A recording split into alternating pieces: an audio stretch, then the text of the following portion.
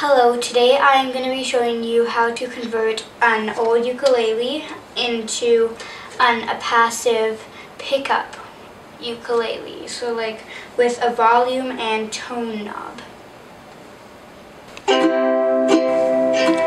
First we use we needed to solder up the components. We used a piezoelectric transducer to pick up the signal. We used a 100 a 10k audio variable resistor to control the volume and a 100k linear variable resistor with a 47 nanofarad capacitor to control the tone. We use thicker wires, wires than we should have.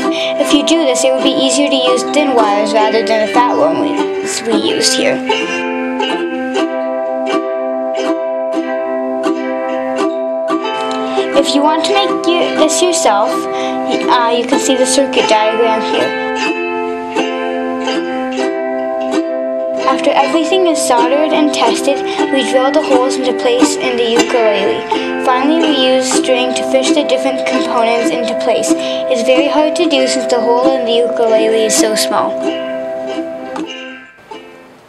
Hi, um, this is my new, well, uh, ukulele. I just got new strings for it, so I apologize if it's out of tune. Now I'm going to show you what it sounds like unplugged.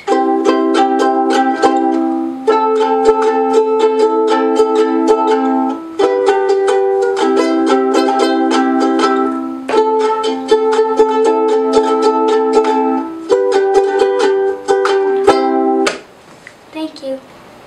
And this is what it sounds like when it's plugged in. Well, this is like the volume knob right here. So it's like can be like this. Or you or I can just put it down on none. And it's just the regular thing. But I like it high. And then the, the one on the back right here is the tone. And like you can sort of hear a difference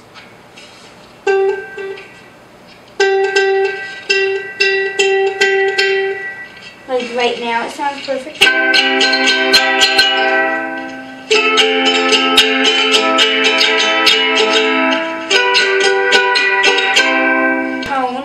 if it have it down,